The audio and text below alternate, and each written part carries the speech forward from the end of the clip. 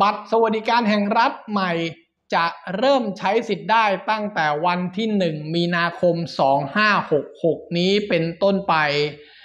ซึ่งคุณธนกรวังบุญคงชนะรัฐมนตรีประจำสำนักนายกรัฐมนตรีได้ออกมายืนยันว่า ภายในเดือนมกราคมนี้ ทางกระทรวงการคลังจะประกาศผลรอบตัดสินสำหรับผู้ลงทะเบียนบัตรสวัสดิการแห่งรัฐใหม่ว่า ใคร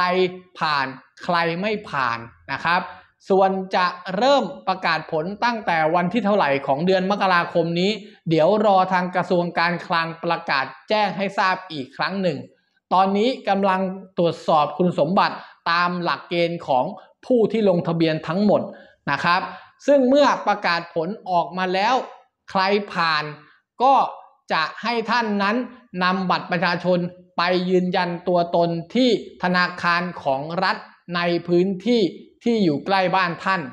เมื่อยืนยันตัวตนเรียบร้อยแล้ว บัตรประชาชนของท่านนั่นแหละ ก็คือบัตรสวัสดิการแห่งรัฐใหม่ สามารถนำไปใช้สิทธิ์ในการซื้อของในการเดินทาง หรือว่ากดเงินสดตามสิทธิ์ของบัตรสวัสดิการแห่งรัฐใหม่ได้เลยนะครับ ซึ่งก็จะเริ่มใช้สิทธิ์บัตรสวัสดิการแห่งรัฐใหม่ ตั้งแต่วันที่ 1 มีนาคม 2566 นี้เป็นต้นไป แต่ถ้าเกิดประกาศผลภายในเดือนมกราคมนี้ท่านใดไม่ผ่าน ท่านก็ยังสามารถยื่นอุทธรณ์ให้ทางกระทรวงการคลัง ตรวจสอบคุณสมบัติของท่านใหม่ได้ ว่าท่านยืนยันว่า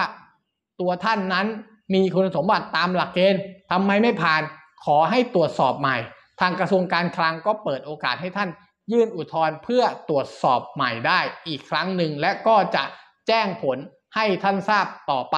ตามระยะเวลาที่กำหนดสำหรับผู้ที่ถือบัตรสวัสดิการแห่งรัฐรุ่นเดิมรุ่นปัจจุบันที่ใช้กันอยู่ก็ยังไม่มีการแจ้งชัดเจนว่าจะใช้ได้ถึงเมื่อไหร่ แต่ณตอนนี้เดือนมกราคมยังคงใช้สิทธิ์ได้เหมือนเดิม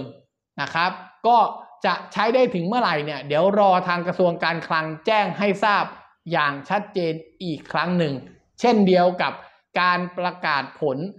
การยืนยันตัวตน หรือว่าการยื่นอุทธรณ์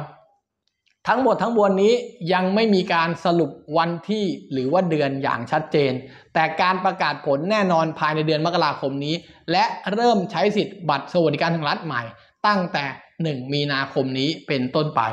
ส่วนบัตรสวัสดิการแห่งรัฐเดิมจะใช้ได้ถึงเมื่อไหร่ จะหมดอายุเมื่อไหร่ เดี๋ยวกระทรวงการคลังจะแถลงแจ้งให้ทราบต่อไปณตอนนี้ยังคงใช้สิทธิ์ได้อย่างต่อเนื่องครับ